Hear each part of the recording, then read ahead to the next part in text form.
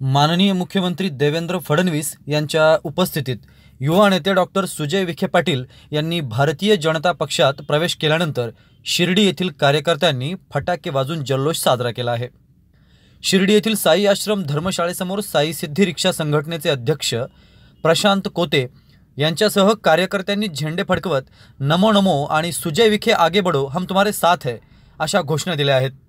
यावेळी श्री प्रशांत कोते यांनी डॉक्टर सुजय विखे पाटील यांच्या प्रवेशाबद्दल आपलं मनोगत ओ एस न्यूजसोबत व्यक्त केलं आहे. सन्माननीय डॉक्टर सुजयदादा विखे पाटील यांचा आजच दुपारी एक वाजता मुंबई येथे माननीय मुख्यमंत्री देवेंद्रजी फडणवीस साहेब यांच्या उपस्थितीमध्ये मोठ्या दिमागदार सोहळ्यामध्ये त्यांचं भाजपमध्ये प्रवेश झाला व डॉक्टर सुजयदादा विखे पाटील यांनी विकासाला विकासाच्या मुद्द्यावरती व भारताच्या संरक्षणाच्या मुद्द्याच्या बाबतीमध्ये भारतीय जनता पार्टीमध्ये प्रवेश केला व ते खरोखरच सर्वांना न्याय देण्याचा प्रयत्न ते करणार आहेत.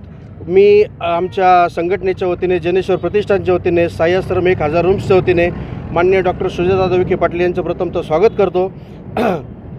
तसेच माननीय डॉक्टर सुजयदादा विखे पाटील हाच आमचा पक्ष आहे व माननीय डॉक्टर सुजयदादा विखे पाटील हाच आमचा विचार आहे. आम्ही सर्व तळागाळातील सर्व कार्यकर्ते त्यांच्याबरोबर आहोत. आज डॉक्टर सुजय विखे यांनी भाजपमध्ये अधिकृत प्रवेश केला आहे.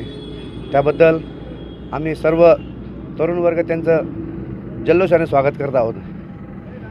जसं ज्या पद्धतीने नरेंद्र मोदींनी हा देश हातात घेऊन संरक्षणाच्या दृष्टिकोनातून विकासाच्या दृष्टिकोनातून जे कार्य हाती घेतलेलं आहे ते लाट पाहता आमचे नेते डॉक्टर सुजय विखे यांनी पण त्यांच्या पावलावर पाऊल ठेवून जे तरुणांना जे देशाला जे लागतं त्याबद्दल त्यांनी जो सकारात्मक विचार केलेला आहे त्या विचाराशी आम्ही तरुण वर्ग ठाम त्यांच्या पाठीशी उभे राहून त्यांना विजयासाठी पक्षामध्ये त्यांना ताकद देऊ.